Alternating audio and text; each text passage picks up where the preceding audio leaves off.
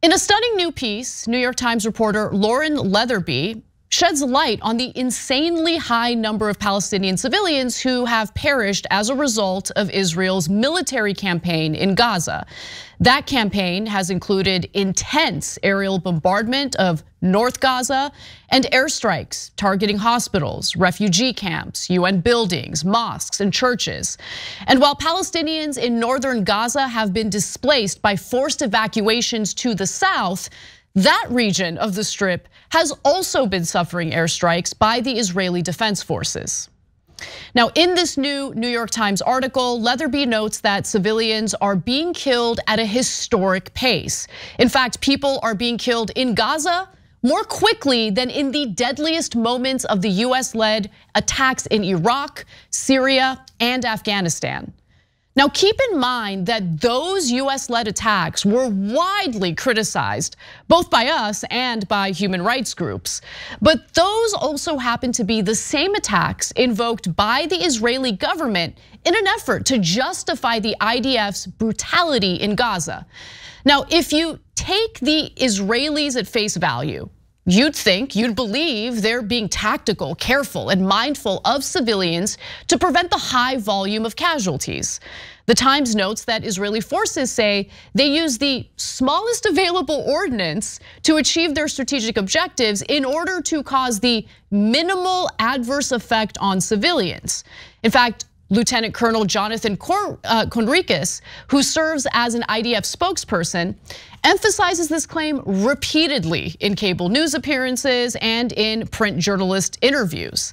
Now, we do a lot in order to prevent and where possible minimize the killing or wounding of civilians. We focus on Hamas, he says.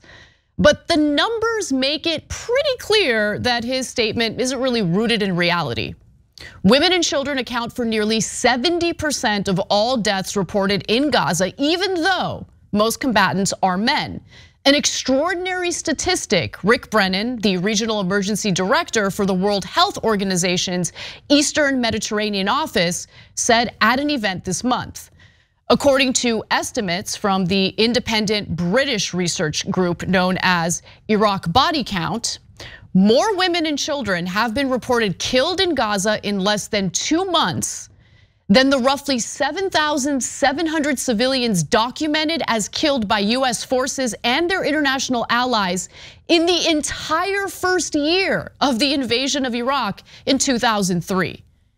I'm just really gonna ask you to let that information sink in, because that is unbelievable, that is stunning. And guess what? A similar theme plays out when you compare the death toll in Gaza to the number of civilians the United States killed in Afghanistan. But the numbers are even more insane when you consider the length of time in which these civilians were killed.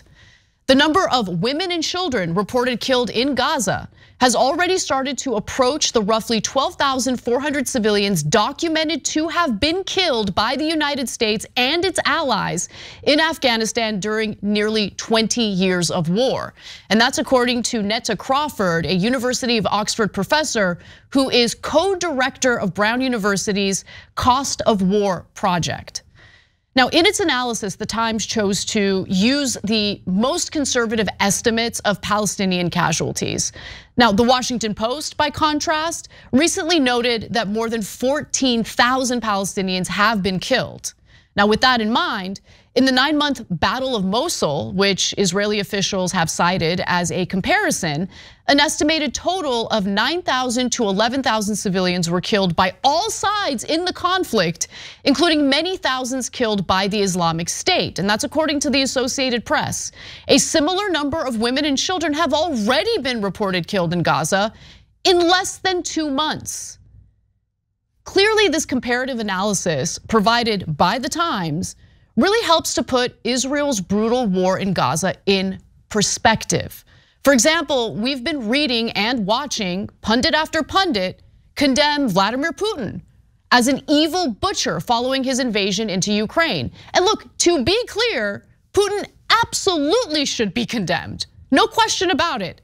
But one should ask why the same condemnations aren't being uttered about Prime Minister Benjamin Netanyahu and Israel's far right government. More than twice as many women and children have already been reported killed in Gaza than have been confirmed killed in Ukraine, according to United Nations figures, after almost two years of Russian attacks.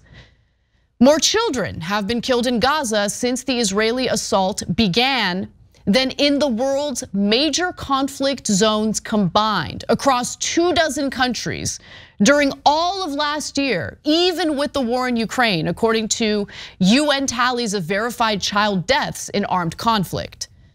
Now, Israel said it had engaged more than 15,000 targets before reaching a brief ceasefire in recent days. And of course, that's all about the hostage exchanges.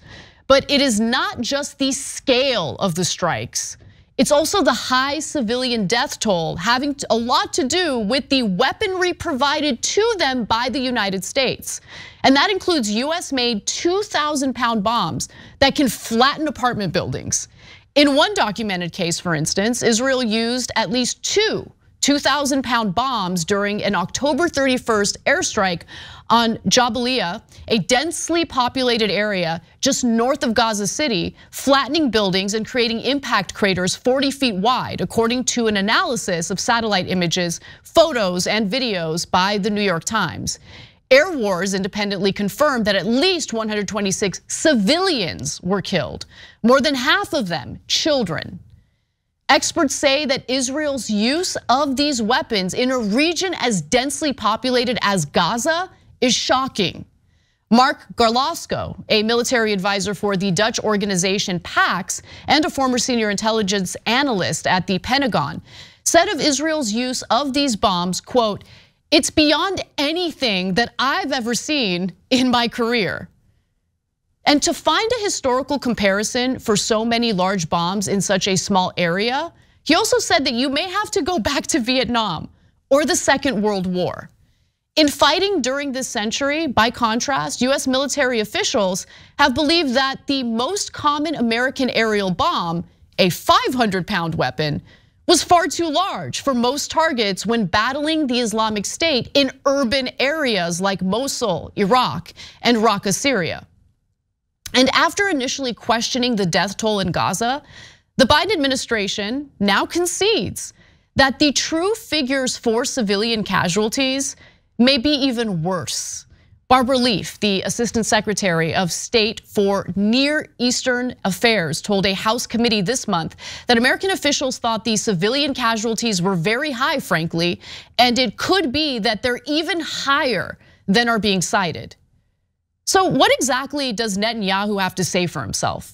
I mean, he points to atrocities committed by other nation states in the past, right? I mean, he cited the accidental bombing of a children's hospital by Britain's Royal Air Force when it was targeting the Gestapo headquarters in Copenhagen in 1945. During visits to Israel by Secretary of State Antony Blinken, Israeli officials privately invoked the 1945 US atomic bombings of Hiroshima and Nagasaki, which together tragically killed more than 100,000 people. In other words, Netanyahu and members of his coalition government have been engaging in endless whataboutism. So let me do the same. What about the modern international laws of war that were developed in response to the very atrocities committed during World War II? You know, the atrocities that he likes to point to as an excuse for what Israel is currently carrying out. In 1949, the Geneva Conventions codified protections for civilians during wartime, making clear that militaries must not target civilians directly or indiscriminately bomb civilian areas. The Geneva Conventions also state that accidental harm and the killing of civilians must not exceed the direct military advantage to be gained. And guess what? On July 6, 1951, the newly formed state of Israel ratified the Geneva Conventions, making it one of 196 countries to do so at the time.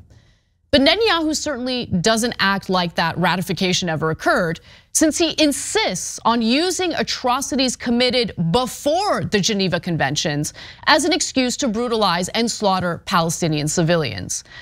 But one thing is clear in an era where all we would get is one side of the story, that tended to justify the actions of the Israeli government and the IDF.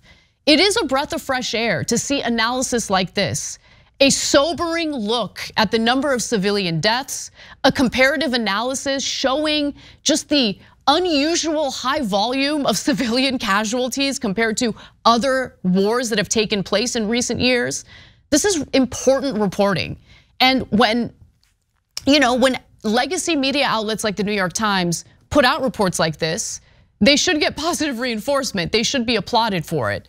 Obviously, the New York Times isn't perfect. Obviously, the Washington Post isn't perfect. Obviously, CNN isn't perfect. But there are these little breakthroughs in their reporting that really give you a realistic look at what's happening on the ground in Gaza. And I will thank them for doing that because I know the kind of attacks that they might receive for doing so right? Allegations of anti-Semitism, allegations that they don't believe in Israel's right to exist. Absolute, complete, utter nonsense that's only meant to silence people, including journalists. Of which, by the way, 67 have been killed as a result of this war and the IDF's aerial bombardment of Gaza. So a lot of this stuff you should keep in mind as you hear propaganda, to be clear, from both sides.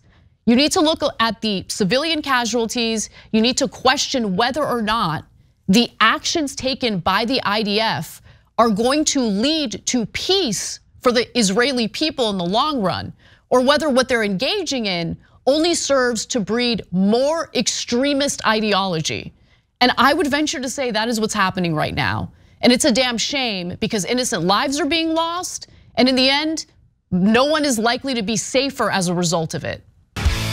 If you enjoyed this video, that's because of our members. They make us independent, they make us strong, and they make us honest. Become a member today by hitting the join button below.